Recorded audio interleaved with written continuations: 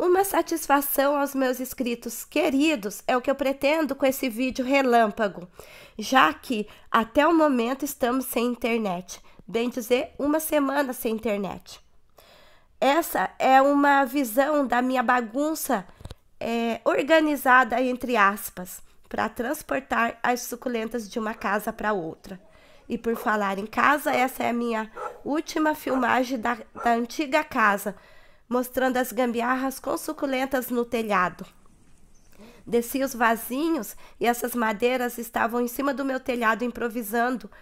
Cada vasinho que eu acomodava para tomar o sol, o sol pleno que elas tanto precisavam.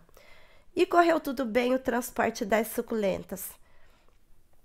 Essa é a visão da minha casa 90% já vazia. Ficou um restinho de suculenta, de algumas suculentas para o rapaz pegar. E junto com as suculentas vai também no caminhão uma carga viva. então eu fui aos pouquinhos me despedindo da antiga casa, agradecendo a Deus por tudo que ele me proporcionou, a alegria que ele me deu nesse lugar, as lições que eu aprendi também, né? Porque tem experiências que viram lições de vida para gente. E essa visão, essa parede alaranjada, é a visão da minha nova casa, um cantinho que eu improvisei para fazer esse vídeo para vocês. Coloquei aqui, de, de, pus algumas suculentas nesse cantinho para poder ficar conversando.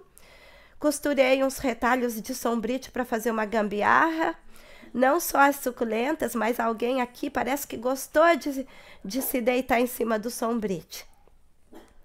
Depois do sombrite costurado, eu fiz essa gambiarra para proteger a maioria das suculentas que não pode com muito sol.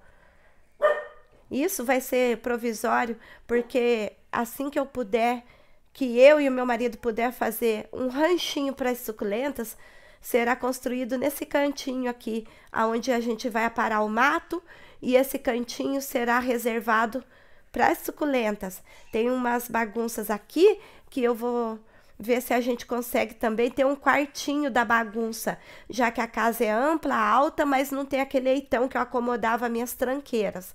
Então é uma casa antitranqueira. E eu estou, gente, cansada, gripada, mas confesso que eu estou muito feliz e logo em breve eu volto com um vídeo mais elaborado para vocês.